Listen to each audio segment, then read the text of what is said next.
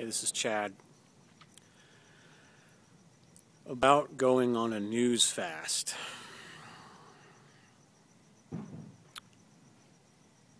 It would be a good idea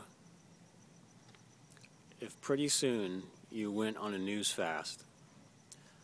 This includes not reading any news on a news feed, on a headline, not watching television, and not listening to talk radio. Do this for one month. At first, it'll be hard to do because you're going to hear people talking about the news. You're going to become curious. You're going to want to go online and look at what it is. You're going to want to know more. You're going to want to be well informed. And then you're going to be right back looking at the news again. In actuality, the news doesn't really tell you anything you need to know. Really, not really. If there's an emergency, you're going to hear about it anyway. You don't need to look at the news every day. The world is going to keep going on.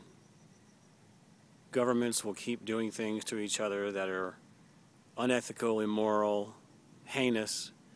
People will die. There will be emergencies and disasters. There will be more shootings. There will be more debates.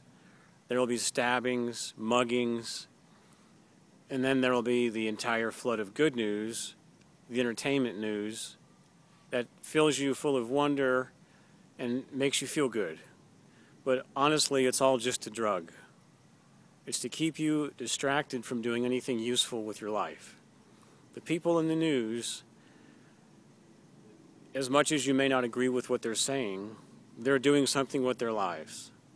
They're going about their day. They're news anchors themselves. They're celebrities. They're entertainers. They're on the radio. They're on television. They're in print. They're doing things with their lives while you sit there and watch them do it. So stop watching them do things with their lives and do something with your life. Stop watching the news. Stop paying attention to what it says the world is full of every imaginable horrible thing. Knowing more about these things will not help you. Turn off the news for one month. I dare you.